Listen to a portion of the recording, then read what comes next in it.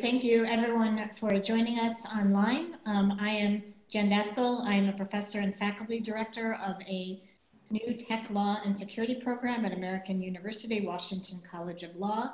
And I'd like to welcome you to the latest installment of our free speech project, Moved Online. Um, this has been a year-long joint project between our tech law and security program and Future Tense, a collaboration of Slate, New America, and ASU. Over the course of this year, we are tackling a range of issues dealing with the ways in which online communications are challenging our notions of and commitments to free speech. Um, we had planned um, a longer in-person discussion about political ads, and we are instead breaking that up into shorter um, online one-hour segments. Um, and this is the first one where we are going to be talking about what we can learn from regulation of ads on broadcast TV to the online environment.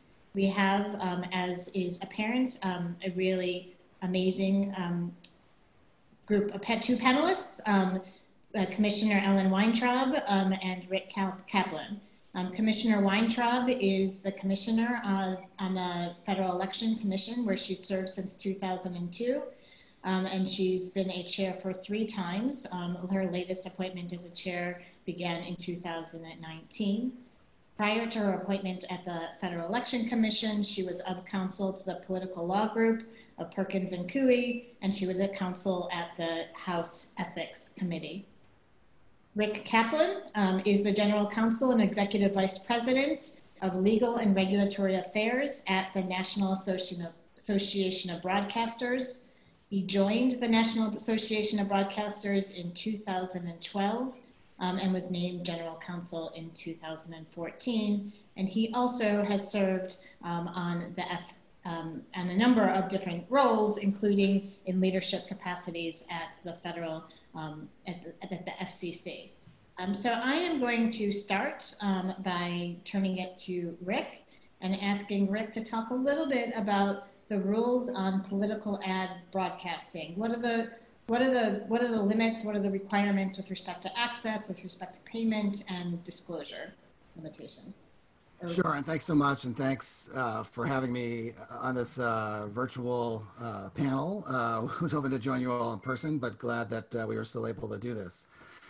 Um, there are a panoply of different regulations that apply to over-the-air broadcasters when it comes to political advertising. I'm going to try and touch on some of the outlines, the contours that hopefully will give us some uh, basis for the conversation that I know folks are interested today. Um, and they can be fairly technical, so I'll try out of some of the more technical things. But the, the general rule is that legally qualified candidates, and I'll explain what that means in a, in a minute for federal office, um, are entitled to reasonable access to use broadcast facilities. And broadcasters must provide equal opportunities to all opposing candidates for the same office. Uh, in addition, during specific periods preceding an election, which is what we refer to as the political window, candidates are entitled to the lowest advertising rate. I'll, I'll put a little meat on the bones in that in a second. A legally qualified candidate is one who announced publicly an intention to run for public office and is also qualified to hold that office. Now, only federal candidates actually have a right of reasonable access to use the station's facilities. Uh, interesting that Congress put that in there. Um, now, stations are not required to sell time to state and local candidates, but if they do, then the rules for equal time and sponsor identification uh, no censorship, and lowest unit rate do apply. Equal time is an interesting one that many people uh, know about, which is that a station must provide uh, equal time to opponents of a candidate that uses the station upon request. And that equal time must be given within seven days. So you, you will occasionally hear about this as we get closer to the presidential election. You'll see examples of, you know, somebody appeared on, say, Saturday Night Live or something like that. Was does, does that one candidate did? Does that mean the other one gets equal time? on the network. So those things uh, frequently come up. Lowest unit rate, you may be wondering a little bit what that is. You may not be familiar, and this is you know, quite a, uh, a big development over the last couple decades, but 45 days before primary or 60 days before a general election, stations, stations must charge candidates what's called the lowest rate charged to any other advertiser for the same kind of time. And what that means is, you know, if it's something in the middle of the night, it's obviously different than something in the middle of the day. Um, and so, but you have to give them the lowest unit charge. Um, but that's only, if, now we're talking about candidate ads, and we'll, as we move through this uh, panel discussion, you'll see there's a, there's a stark difference between candidate ads, those sponsored by a candidate, and issue ads, which are sponsored by third parties. So um, the lowest unit charge only relates to candidate uh, ads. Um, a couple other quick things important to know, I think, as we discuss uh, the things today that we're going to address. Um, federal candidates must certify whether or not the ad refers to an opponent. And if so, it must state in the ad uh, that she or he has approved the ad. The ad must also state that it is quote unquote paid for or sponsored by the entity paying for the spot. And a lot of you are familiar with seeing that in the ads you watch on TV. One last thing to point out too that's um, uh, unique here for broadcasters is that stations must maintain what's called a political file. And that's now online. It used to be just kept at the station, but now it's it's online for anyone to see. If you go to the FCC website, or station websites have them too, links to them as well. Um, and these political files allow the public to obtain information about political ads and to enable candidates to avail themselves of equal time. So, in other words, the, the and this was the original theory uh, behind political ads is that if I'm running for office and I'm you know checking on the stations in my state, if it's a, Senate uh, uh, campaign, and I can then see, oh, my candidate actually ran a bunch of ads on this station. It gives me an opportunity uh, to do that. It also gives me an opportunity to demand equal time if it's either on there. So, um, and the required information is actually pretty substantial. It includes the rates charged, when the uh, ad aired, relevant candidate and office sought, uh, the treasurer or of the campaign committee, and whether the ad communicates a message related to, again, this is a term of art, any political matter of national importance. Um, the all in, so I'll just wrap this up here. all these regulations, and there, there are more, but this is these are kind of the nuts and bolts. Um, you know, the, the challenge as we look at all these regulations is that um, is that broadcasters um, are under a lot of pressure here. The one sort of practical problem is broadcasters are subject to enforcement for violations, uh, but collection of the required information from candidates can be outside our control. So if you think about it, the ad agency provides a broadcaster with the information, and so there's a that's one major step, uh, you know, and and the FCC, which regulates these, and again, to have to be clear here, especially with the commissioner on the Federal Communications Commission. so between the SEC, the FCC, and the FEC, it's all confusing. But the Federal Communications Commission re- regulates this. Um, and so they don't regulate advertisers, though. They regulate broadcasters. We hold the licenses. So that's so we are ultimately responsible, uh, even though we actually often don't have access to the to the information. And the other thing that's that's critical here too is the timing. Stations have to upload disclosure within typically within 24 hours um, of, of the ad being placed. So that's obviously it's a fast moving cycle, and you can imagine when you get closer to an election, that's uh, pretty action packed. Okay, so you've just described a fair number of rules. You talked about rules requiring equal access, You've talked about rules um, setting limits on how much can be charged, and you've talked about rules requiring disclosure of candidate ads. Commissioner Weintraub, how does that compare to the world of online political advertising? What, what rules are in play there? Well, I want to start out, first of all, thank you for, uh, for having me. Uh, I want to start out by saying that what the FEC does and what the FCC does there's some overlap, but there's also a lot of differences. We are primarily a disclosure agency. Uh, we are all about money and politics. So our primary mission is to make sure that all of the candidates and the political parties and the PACs and the super PACs, that they are all disclosing to the American people how much money they are spending and, and what they're spending it on. So uh, to the extent that those players are spending money on online ads, that should show up in their, in their regular disclosure reports if they are regular reporting entities. But there are other folks that run ads that are not regular reporting entities. They are not political committees.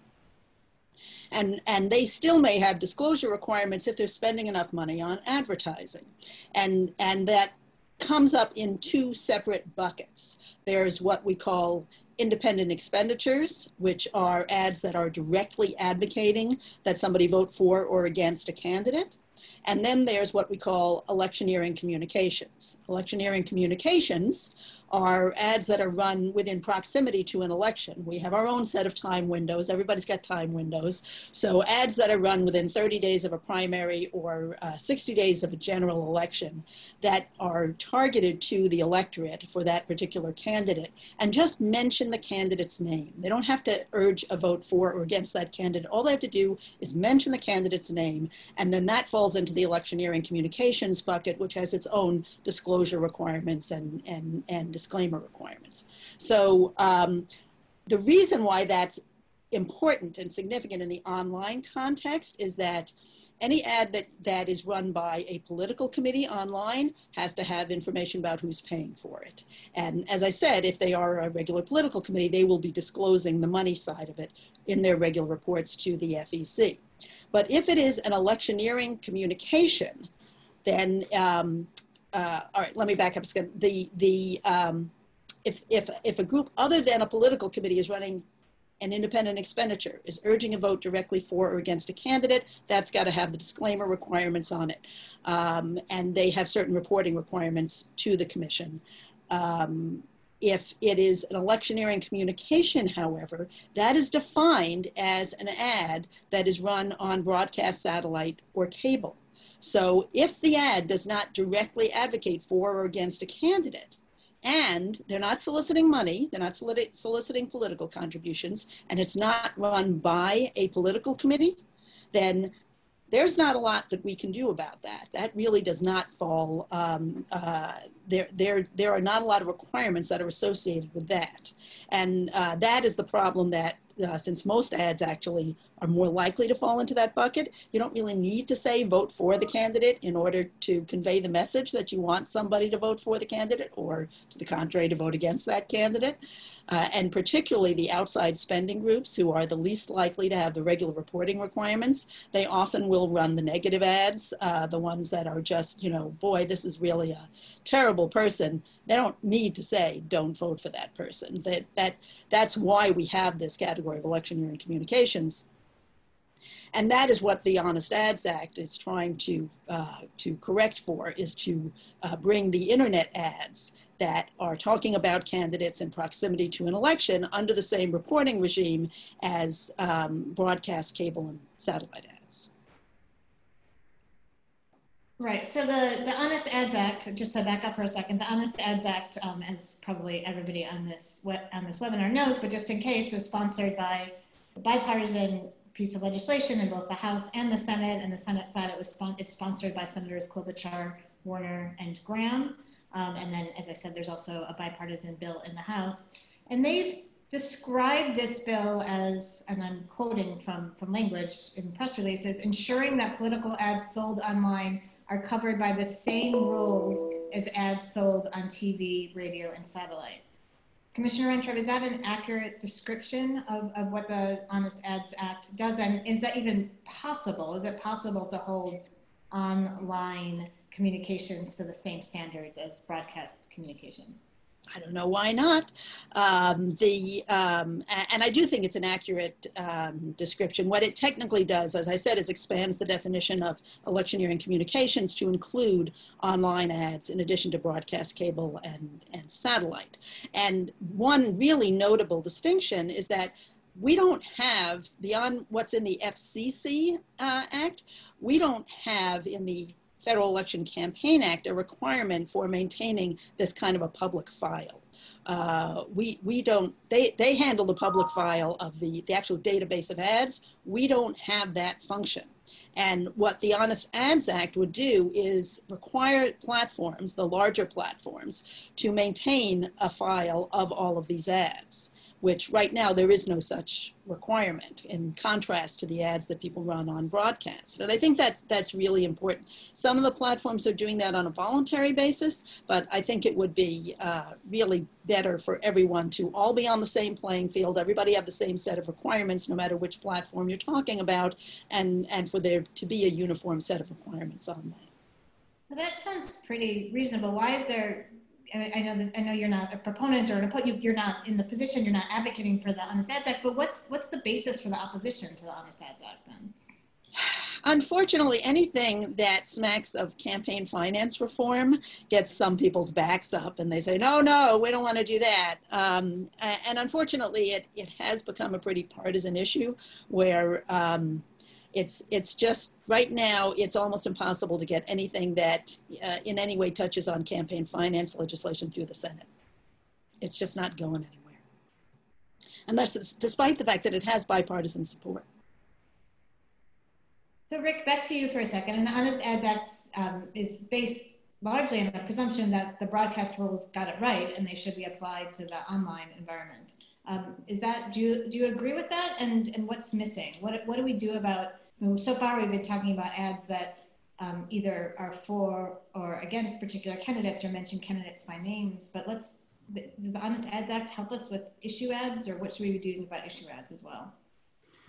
Well, so, you know, I think the Honest Ads Act is attempting to, you know, as the commissioner said, apply more broadly the rules that exist for, for broadcasters. Um, when we think um, through these issues, we generally have, you know, three kind of lenses through which we look at them. Uh, and first, um, for broadcasters, this is very specific to us, we become concerned with having to comply with two different regimes. Uh, any you know, we've seen these, but this, by the way, is something at the state level too. You're seeing more state level laws come up uh, of this sort. Uh, in fact, one was recently struck down in Maryland, and Maryland is trying to, to, to do it again um, to come up with a new formula that, that meets the First Amendment. But where broadcasters are, are, are often worried about complying with FCC rules and then having a different one for their online uh, entity. So, in other words, a broadcaster will have its station, but that station has a website. And then if you have two different regimes, that gets uh, somewhat difficult.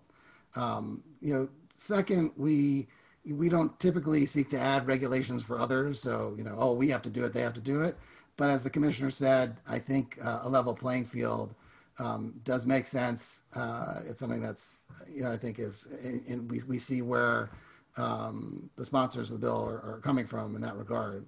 And third, you know, we do worry, and one of the tough things for platforms, in this case broadcasters, but I think this would apply universally, is the, the very difficult piece of who is responsible for getting the information. Um, the FCC has struck a balance uh, where there's certain things that, like with issue ads, as you mentioned, with issue ads, broadcasters now need to at least ask the question uh, and try and get the information. Um, but if we were trying to and responsible for getting all of the information, and if we ran into some walls, what that means we don't have access to it. So um, you know, there is a an enforcement issue here, which is quite complicated because, you know, perhaps it's the advertisers, you know, the ones uh, that should be regulated here, but there's no natural fit for where that would go. So it's it's it's somewhat um, it's somewhat complicated. Um, the other thing, as I mentioned before, is with the Honest Ads Act, and I should say, you know, we certainly appreciate and support transparency and what the act is trying to accomplish. There's a, there's a lot about the idea behind the act that makes a lot of sense. We get where it's coming from. Um, the, the rationale, as I mentioned before, and this is something I think we need to grapple with, has shifted it over time, kind of morphed as to what political advertising and, and um, disclosure is for. Again, it used to be for, and where this all started was equal opportunity rights. Uh, then over time, you know, it sort of became, um, you know, more about getting uh, to find out who's behind the money. Uh, and then, you know, I'm not sure that's best left with broadcasters or even social media at the first instance because someone has to go through all that information. Uh, you know, maybe it is better through the FEC or something like that uh, to have the folks doing the ads are the ones uh, responsible for providing the information so you can get the transparency the Honest Ads Act is looking for. Let's turn to this, this question of issue ads. Um, it's now been raised a few different times. Um, first, before we even start talking about how we think about regulating issue ads, how do we how do we define them? What's how would you define an issue ad? That's the uh, one hundred thousand dollar question. Um, it uh, you know so issue advertising applies to ballot issues or ads that involve uh, controversial issues of public importance. Um, and if you can define that for me, I'd be very excited because we struggle with this one all the time. But it's ads about elections, um, but ones that are not, these are ads that are not sponsored by candidates or their official committees. So uh, for uh, folks who are, you know, not super involved in this, it's the ads you see, you know, from PACs, super PACs, things like that. Um, those, those are issue advertisements that are, that are not sponsored by the candidate. And so those, those ads have slightly different regulations. So, for example, uh, broadcasters um, uh, now in the FCC recently uh, clarified this have to uh, put in our public file uh, any, uh, and I say public file should be clear for those not up on the FCC. The public file is a broader file that includes the political file where we are address putting these things. So, in our political file, we have to put in um, if there are ads of national import, if there are issue ads that uh, cover areas of national importance, um, that we have to include those and list all of the issues to the best of our ability um, uh, in, in those ads. So an ad might be simple and just be about healthcare uh, from a national debate, or uh, a PAC may sponsor an ad that covers three, four, or five ad, uh, issues. And again, we need to list all of those issues uh, to the best of our ability when we put that in the in the public file, so that folks looking at it can can tell what the ad was about. It, let me just say that from the FEC perspective, that uh, issue ads, it's not a, it, it's sort of um, not defined by what it is so much as what it isn't. It's not a direct advocacy ad. Um, it's supposedly uh, an ad that talks about issues and therefore should be less regulated than an ad that talks directly about candidates and who you should vote for. But there have been many, many ads that um, were run by folks who said they were issue ads, where the issue turned out to be the character, qualifications, and fitness for office of a particular candidate. Uh, and this is where we've got the whole concept of electioneering communications because Congress was uh, became convinced that there were many, many ads out there that stopped short of express advocacy and yet were pretty plainly about the election and that the public deserved information about this. That's that's the other side of, of this that I think is important to emphasize and that the Supreme Court has emphasized in upholding various disclosure laws, that the electorate, the American public, has a right to know who is behind the advertising that is going on about candidates and who's trying to influence their votes. And it is um, really significant and important to an informed electorate. It's hard to have an informed electorate if that kind of information is not out there. Right now, uh, over the last number of years, we've been seeing a real migration of political advertising to uh, the internet. Uh, we're now seeing billions of dollars being spent online on political advertising. So to leave that category of advertising out of the equation really would leave the American electorate very shortchanged in terms of the information that they have. And Jennifer, I should I should add uh, to the, the commissioner said because um, uh, one one thing you had asked was th- these ads actually, and it's important when you have the distinction you're making between candidate and issue ads are actually quite important for people to understand how this all works because they're not subject uh, to the same rules of the FCC as, as candidate ads. So, for example, uh, an issue ad is not entitled to reasonable access. Um, it's not entitled to equal. It wouldn't entitle someone to equal time. Um, so that and that it used to. There's something called the fairness doctrine. I think many people are familiar with it. If you covered one side of an issue, you'd have to cover the other side of the issue. But that's not the case anymore. Also, it's not uh, uh importantly when we talk about money, it's not uh, subject to the lowest unit rate uh, as well. So that's for candidate ads, but not for issue ads. Another interesting thing, I think people will find this interesting at least, is that uh, whereas you can't do this in candidate ads, stations um, can censor third-party ads. Um, so if the, and this is you see the controversies bubble up over time about ads that kind of uh, shocked certain people and they thought you the station may not run it. We always see this running up to an election uh, for issue ads they can be censored. Commissioner I want to pick up on this uh, a little bit and, and, go a little further. So we saw, I mean, this is obviously became a big issue in the wake of Twitter's announcement that it was going to ban all political ads. Um, and um, whenever one thinks about that, the reality was in the aftermath of that, Twitter struggled to define what counts as a political ad. Um, and um, they weren't just limited to the definition of election electioneering communication because that was about a particular candidate, but they were looking at again when you start talking about issues of national importance, how do you how do you go about defining that, and should should that be something? Should there be a role for the FEC in, in helping companies have a standard definition? What how do we think about the the full range of ads that ought to be regulated, particularly when, as you point out, um, a lot of advertising is happening online and a lot of influence operations are happening online that don't necessarily even mention a political candidate by name. Uh, yes, I, I think that that raises um, a really difficult issue. And, and let me say that this whole concept of ads of, on issues of national importance, that doesn't come out of what we regulate. The, F, the FEC doesn't get into that kind of content regulation. Um, but I understand, and, and as I said, the, the, um, the way around that in the Federal Election Campaign Act is to uh, look at the ads that talk about candidates within proximity to an election, this concept of electioneering communications, which some people in the campaign finance world probably would uh, define as issue ads. And, and they might be, or they, or they might not be. They might be more direct uh, candidate ads. Um, but I, I do think that we have seen a lot of influence operations, and the most disturbing ones coming from um, from foreign countries. You know, we saw that in 2016, and uh, the the range of intelligence agencies um, uh, a few months ago um, came out with a statement warning uh, Americans that they were expecting to see more of that in this election cycle. Um, from Russia, from China, from Iran. Um, I'm, uh, I'm, I'm very concerned right now about misinformation and disinformation um, that sort of overlays health issues around the uh, coronavirus, with electoral issues, um, uh, because plainly this is going to be a big issue in the election.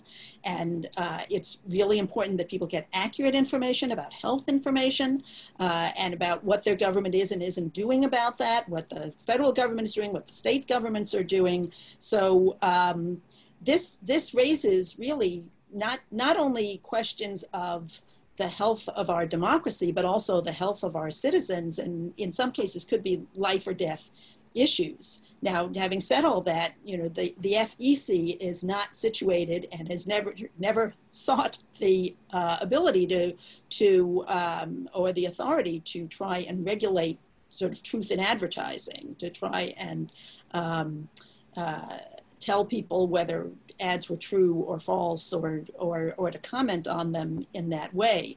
But I do think the platforms have taken at least some steps uh, towards some some set of issues that they're willing to weigh in on and and try and um, uh, promote more accurate information or at least inform people when the information is not accurate and and that is something that I think everyone really ought to be paying a very close attention to how they go about doing that because it's going to vary from one platform to another. And I don't think any of them are going to be able to really take a hands off attitude on this. And, and let's face it, they're, they're not neutral pipelines. They're not just, you know, sort of transmitting information. They have algorithms. They're promoting some messages and demoting other messages, and and they have some responsibility, I think, in this in this information environment for for making taking some set steps to ensure that people are getting accurate information. So I want to pick up on this on this question of foreign influence, and um, obviously, you know foreigners cannot buy ads uh, advocating for against candidates or political parties. Well, they're not supposed to. Um, but there's not an equivalent bar on foreigners buying issue ads. So, Rick, I'm wondering whether that's something that should be addressed somehow, or, or we ought to be concerned about about that kind of influence, and if so, what do we do?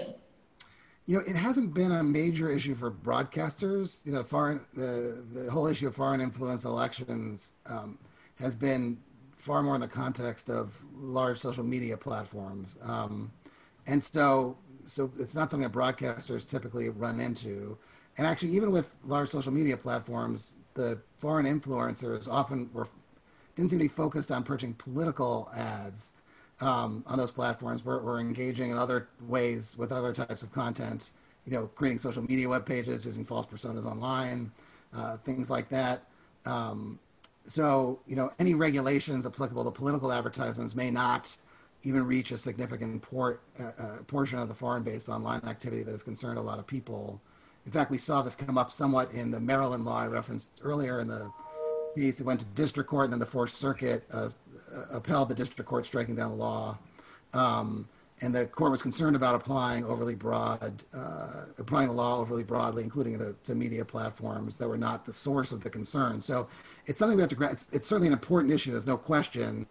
Um, it's not clear. It certainly doesn't really impact broadcasters one way or another much, but for the overall conversation, uh, it's not clear whether political ads is the way to get at the you know main concern that at least you know, I've heard voiced. Commissioner, um, I'm going to turn the same question back to you, but ask um, more specifically about one set of policies that uh, at least Facebook has adopted, where they have now they now require authentication before buying an ad. And one of the things that's needed in order to authenticate oneself is an ID and some sort of mailing address, which operates as kind of a de facto ban on foreigners um, buying political ads, which are defined not just as ads for against particular candidates, but also ads on issues of national importance. Um, is there, I mean, is that an approach that makes sense? Is there a risk that we inadvertently you know, kind of keep out legitimate voices of, of and perspectives of, of foreigners in, in policy issues, which we may want to hear their voices as well at the same time that we're trying to deal with concerns about influence? Well, um, let me say a couple of things. First of all, um, FEC regulations say that foreign nationals are not allowed to make any kind of disbursements in connection with a US election, federal, state, or local. So that in connection with, with language is actually pretty broad. Uh, and um, and could well cover more than express advocacy ads. So I, I don't I, I'm not willing to stipulate that that the law as it stands right now only covers express advocacy when it comes to foreign spending.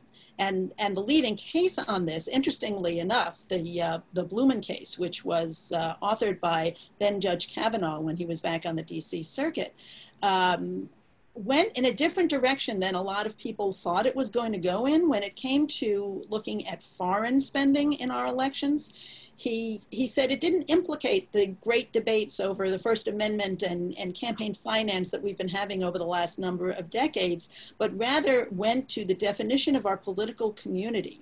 And, um, and, and his opinion is steeped in language about who we want to influence the US government and how it is a legitimate concern to ensure that non Americans, non US citizens, do not have the same say in how our government works, in, in, in influencing our elections and the, and the US government itself that US citizens do. So I think that there is indeed some, some play there, some, some room for additional um, uh, statutes and, and regulation in this area. I, I don't think that the platforms have gone too far.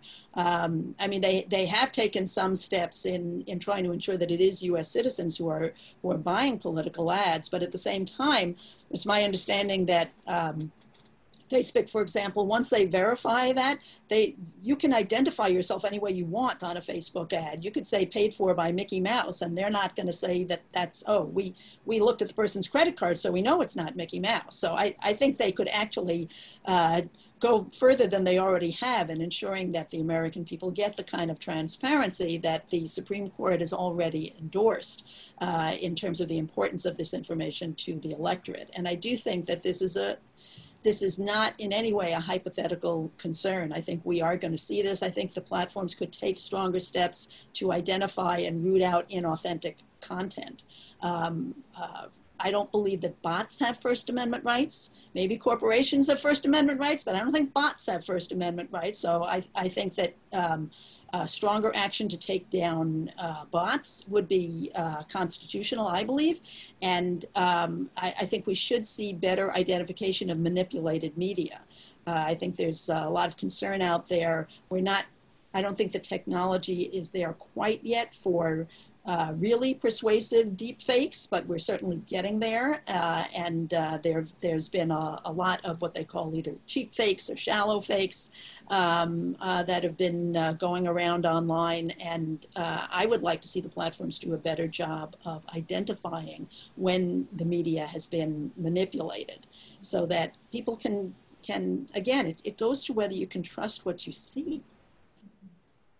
The transparency and disclosure points um, are incredibly important. Um, the, the earlier part of the conversation, I think, again, highlights the, the, the difficulties of defining political ads. Um, there is, a, in my view, there's a difference between an ad that's in connection with an election and an ad that's about any issue of national importance and defining that line and finding appropriate rules and standards that make that distinction and, and abide by it, I think are incredibly, incredibly difficult. I want to um, remind the listeners to please submit questions. We are going to turn to those shortly. Um, before we do, um, Commissioner, I want to turn back to you again. You wrote a terrific piece in November in the Washington Post. I commend it to everybody about um, the dangers of um, micro targeting and a response in part to Twitter's decision to just ban all political ads, saying, don't ban all political ads, instead focus on this other more important problem, which is micro targeting. Can you talk a little bit about your proposal and your concerns that, that led you to write this piece? Sure, thank you. Um, so my concern about micro-targeting is that the platforms, they, they get all this information about us and we don't even most users don't even think about how much information about ourselves we are conveying and just kind of handing over to the platforms. Uh, every time we click on something or we share something, we like something, we overlook something, the platforms are just scooping all this data up about us and, they, and, and this is their business model. They use this to target ads exactly to the people who are most going to be susceptible to them. Now, we can, we can debate whether that's a great thing when they're selling soap, but when they're, when they're selling ads about candidates, when they're selling political ads, I think it really does raise some serious First Amendment issues. The, the jurisprudence that we have from the, from the Supreme Court about the First Amendment celebrates the role of a robust debate. And if you don't like what one person is saying, well, you don't want to take down that speech, you want to counter that speech by coming up with a better argument on the other side. Micro targeting eliminates that possibility because only this narrow segment of, of individuals are going to see that individual ad that is hand selected and designed by, by the AI for you based on, on what they have already gleaned about you. And, and none of this is, as I said, sort of a conscious process on the consumer part of just kind of handing all this information over for the purpose of, of uh, being used as, a, as a, an advertising guinea pig. And if information is being conveyed this way through micro targeting, particularly now at a time when everybody is online all the time. You're not gathered around the water cooler these days talking to people about what you read online last night. You're just sitting there staring at your computer screen all day long. And by the way, people should at a safe distance get outside it's a beautiful day out today in washington get some fresh air um, don't don't sit online all day the um, uh, the, but it really undermines our our notion of what how to how to best promote a wide open and robust debate where everybody can mix it up and the best ideas will triumph in the end if if the only people who are seeing the ads are the ones who are susceptible to them. And you're not seeing the same ads as as your next door neighbor or maybe even the person sitting across from you at the dinner table. So what i suggested was that when it comes to selling political ads the platform should on their own this i'm not i'm not suggesting this as a as a form of of, as, a, as a new regulation that the FEC would adopt, but I am suggesting that the platforms who benefit and, and have thrived uh, in our democracy from, our, from all the protections that they get, both from the First Amendment and uh, Section 230 of the Communications Decency Act, that, that they should, in the interest of protecting the First Amendment, protecting robust debate, protecting our democracy, that they should not allow this kind of micro targeting of, uh, of political ads and rather make sure that the ads go to a wide enough audience that people can pick them apart. People can see what's being uh, sent to other folks and, and can raise new arguments against them. And, and that the advertisers themselves, be they candidates or third party spenders, will be held accountable for the messages that they're putting out. And if I remember correctly, your, your, the article you, you wrote, you proposed specific standards that, that advertisers for political ads could only target one level lower than than the level of the election. So Yeah, except at- if you're running a national election, you could go down two levels. So you could, if you're running for Congress, you could go down to the county level for micro-targeting. If you're running for uh, the presidency, you could go down to a congressional district. You wouldn't have to just be limited to the entire nation or, the, or, or an entire state. But, but to make sure that enough people see the ad, that there can be a real response to it if, if people choose to respond. Um, and what the platforms have all chosen different um, ways of addressing this. The, uh, as you said, Twitter is trying to get out of the political advertising business. They didn't have a big political advertising business to begin with, so you know maybe it wasn't a it, that was the easiest way for them to handle it. Um, Facebook really, um, after claiming they were thinking about it very very hard for a long time, they said, you know what? No, we're not. We're going to continue to allow micro targeting and political ads. Google had an approach that was somewhat in between. They said they wouldn't allow micro targeting below the level of zip code, age, and gender. So that was that was the closest to what I had suggested, but uh, it is still pretty uh, a pretty narrow uh, range of people. If you if you think about you know the typical zip code is about um, eight thousand people. Uh, if you divide that again by age and gender, you're you're going to be slicing it pretty much much thinner than I had proposed. But again, it's the closest to to what I had suggested. And, and how, so obviously you're, you're, you've identified a real problem that your proposals and these kinds of proposals are trying to solve. How do you respond to the concern that sometimes raised that, you know, newcomers to the, to the political, people who are trying to enter the market in the first time, small scale candidates, really benefit from the ability of being able to micro target because it makes it less expensive for them to reach their intended audience. And if they have to, if they're forced to expend more because they, they're forced to reach a, a big audience, it's just going to make it that much harder for them to actually enter the race and potentially shake things up politically.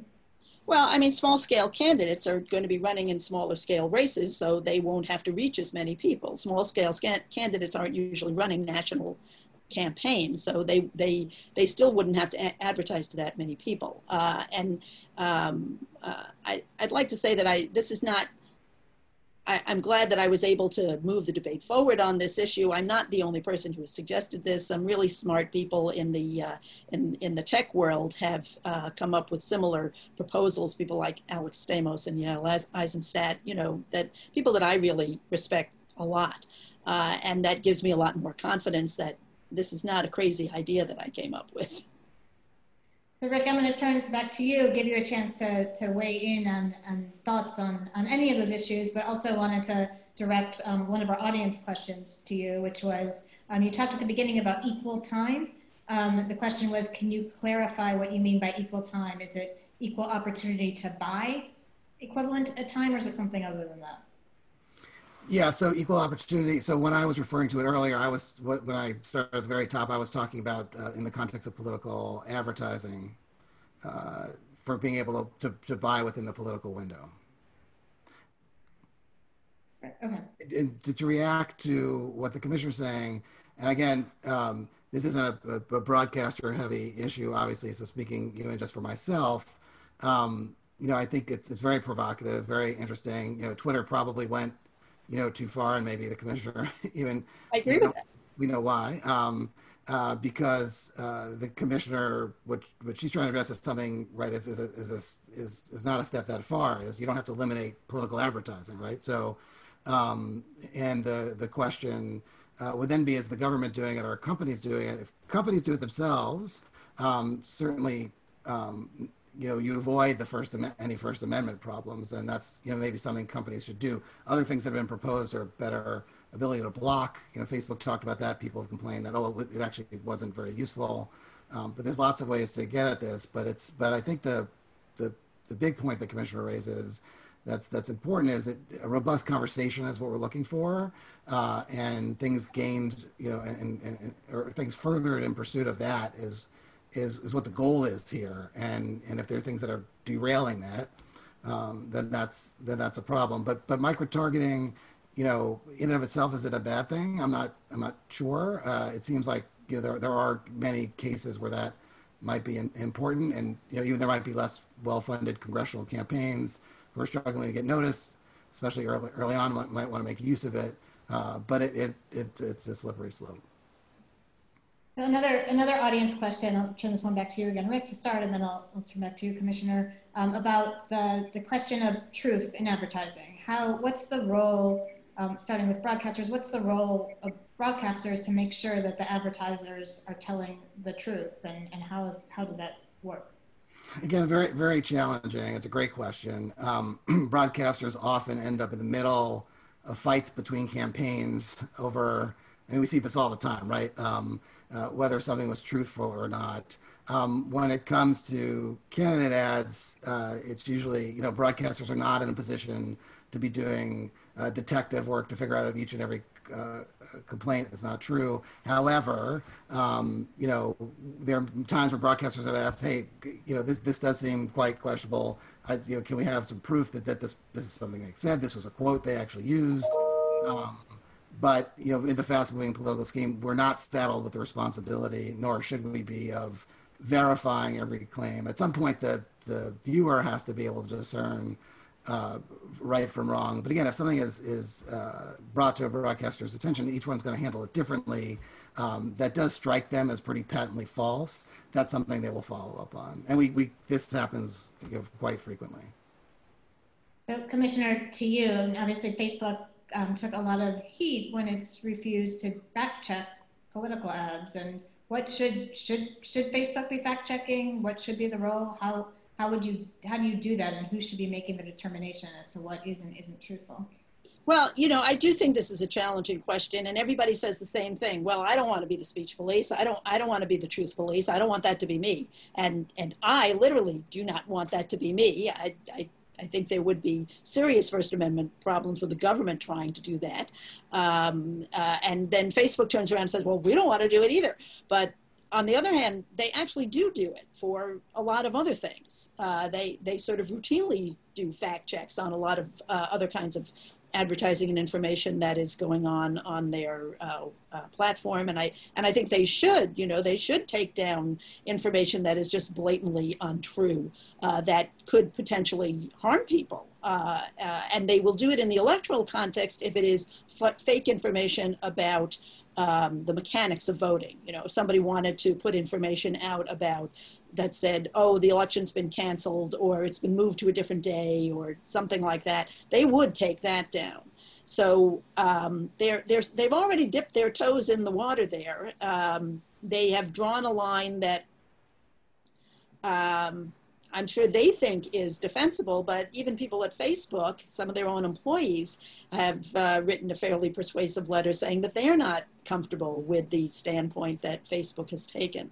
I think that there is uh, something to the notion of having uh, offloading the responsibility to some neutral uh, group third party representing a diversity of perspectives. You know, there are organizations like NewsGuard that have set up to try and do, provide some kind of fact checking on, on what you're seeing online, but you have to know to download their browser extension in order to take advantage of that. And of course, uh, and, and Facebook claims to have uh, for ads that aren't run by candidates, uh, they do have uh, a, a, group that they turn to to do that kind of fact checking. Of course, it's really critical to know who is in that group and, and whether uh, all of the players in that group are in pursuit of truth. Jennifer, something that the commissioner said reminded me of another issue is about political ads, but that, that um, kind of highlights this overall point uh, that we're discussing right now is the, the role of the platform in deciding what's true and what's not. You know, recently, and it's got some headlines, which is why I'm mentioning it. Um, a group had filed in D.C. at the FCC um, to hold broadcasters effectively liable for airing the president's, you know, briefings they've been doing on coronavirus. Again, not under political advertising, clearly, but you know, under a, a broader public interest uh, standard. Now, putting aside the fact that it, wasn't based on any actual FCC regulation that that applied, so it was was kind of thrown out out of hand. But again, that gets to this difficult position that um, folks find themselves in. You know, the, the president's giving a briefing. You know, um, you would assume that's the national issue you'd want to cover, but you know, some people are raising issues. Oh well, uh, since there are things that are not true on there, uh, therefore the platform, in this case, broadcaster, should be held liable. Again, the FCC um, made quick work of that and, and put it to the side, but it is an interesting conversation. This came, this uh, was an issue recently with um, Twitter and, and Facebook and Google all took down statements that the Brazilian president had said um, on the grounds that it was it was perpetuating mistruths about cures for the coronavirus as well. Um, Rick, this is another question to you. Um, uh, a question about um, your statement earlier that it was difficult to define controversial issues of public importance, and um, the the questioner um, is asking about whether or not that is still true given guidance that the commission issued on this question. Um, it looks like some time ago in 1978, um, and that the the questioner um, suggests that with this definition, with this clarification, the definition is, is fairly workable. Um, so wanted some clarification as to your sense as to what the ongoing problem is. Yeah, I think I think workable is is it, it, they've gone away from workable. Uh, I, I, think the problem is uh, it's it's maybe clearer in some ways because the way the FCC is now clarifying it, it seems to us to apply to almost anything. Um, so a national issue of importance is, is you know, such an amorphous term.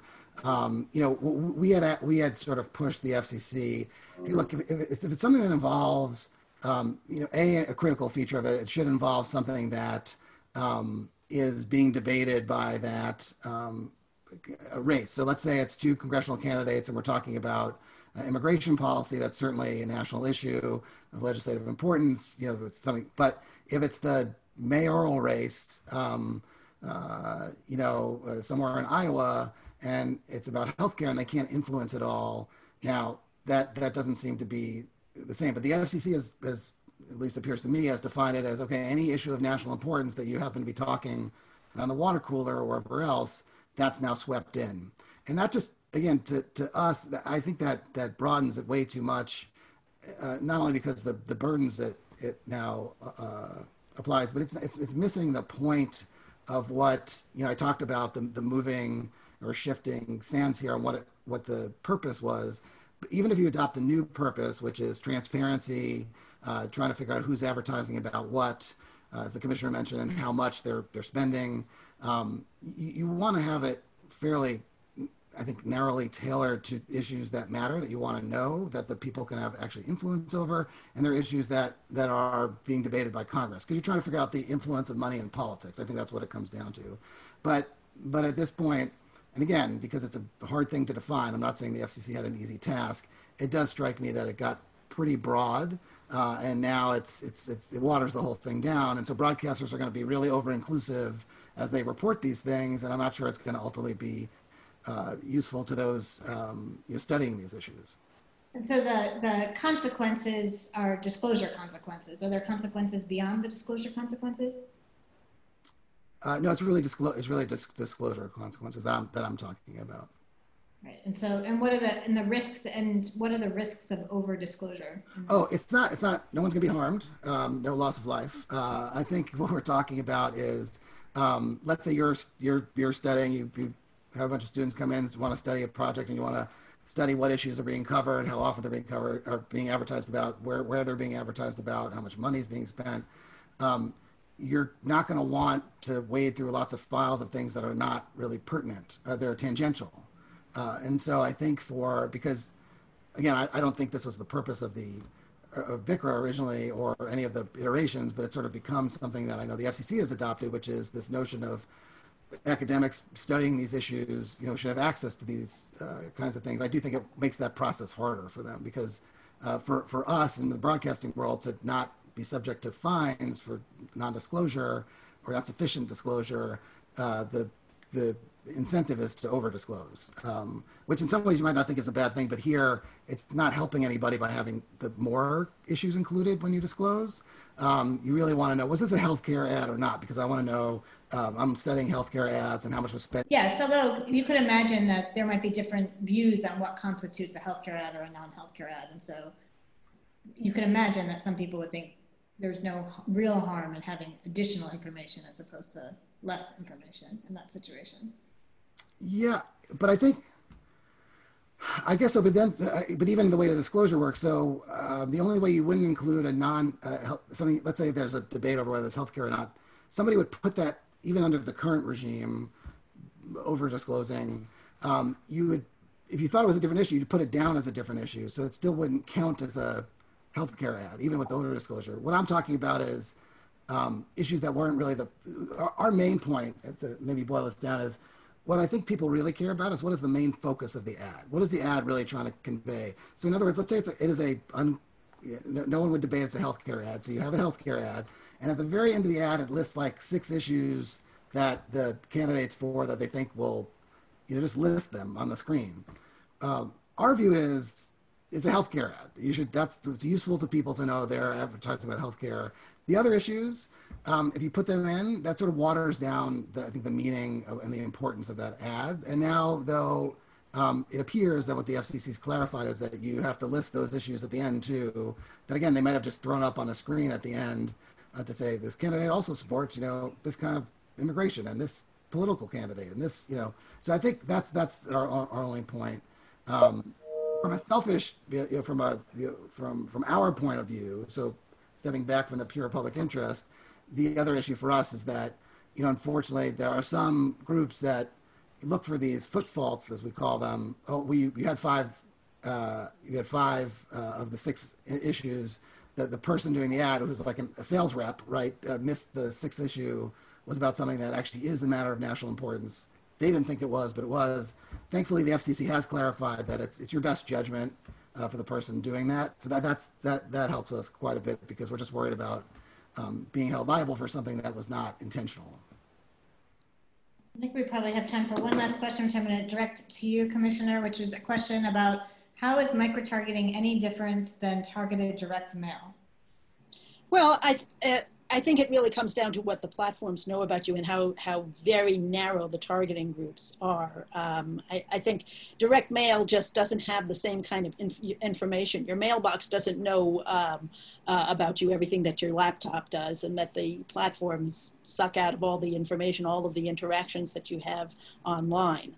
Uh, so I, I just think it's it's a question of how narrow the focus is, and I, I know based on complaints that we get at the FEC on a regular basis that no matter how they try and target the mail, they always they they always end up getting the mail in somebody's box that they weren't really intending because we get complaints based on those things.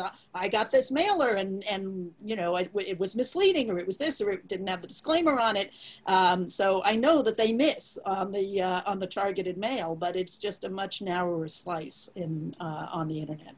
Direct mail makes mistakes, whereas micro-targeting online is way too accurate. Um, please join me um, with a virtual round of applause for two wonderful panelists. Thank you so much for spending an hour with us. Really appreciate it. Um, this podcast will be up tomorrow on New America as part of the Free Speech Project uh, at Future Tense, sorry, Future Tense, which is a collaboration of um, ASU, Slate, and New America. Um, it will be on the website. Thank you, Rick Kaplan. Thank you, Commissioner Weintraub. And thanks to all of you who are watching. Thank, Thank you, Jen.